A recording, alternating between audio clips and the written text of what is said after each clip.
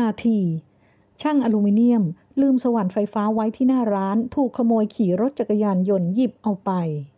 ผู้สื่อข่าวรายงานว่าที่ห้องเช่าเจเด็ด ตั้งอยู่ตรงข้ามวัดพญาธรรม ถนนสายเทศบาลกบินบุรี เครือสหพัฒน์หมู่ที่ 1 ตำบลนาแขม อำเภอกบินบุรี จังหวัดปราจีนบุรี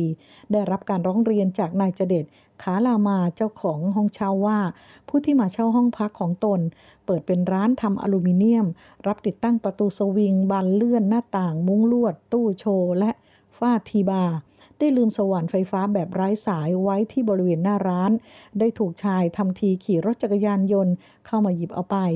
กล้องวงจรปิดที่อยู่หน้าร้านจับภาพไว้ได้อย่างชัดเจนค่ะ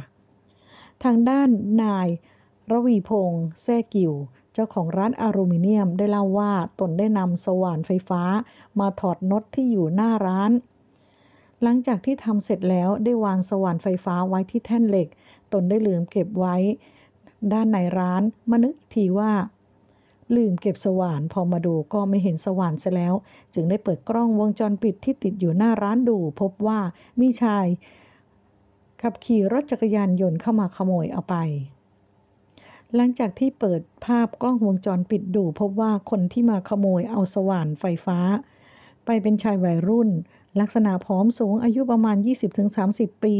ทำทีเป็นรถจักรยานยนต์เสีย ใช้เท้าถีบมาจากถนนเทศบาลตำบลกระบิน จังหวะนั้น ร้านซ่อมรถจักรยานยนต์ที่อยู่ติดกัน ไม่เปิดร้านจึงฉวยโอกาสหยิบสว่านไฟฟ้าไปด้วย ก่อนที่จะใช้เท้าถีบรถจักรยานยนต์ ออกจากร้านไปทางเทศบาลตำบลกระบิน ใครเห็นลักษณะชายดังกล่าวที่ปรากฏในคลิป แจ้งเบาะแสเจ้าของห้องเช่ามีรางวัลให้ค่ะ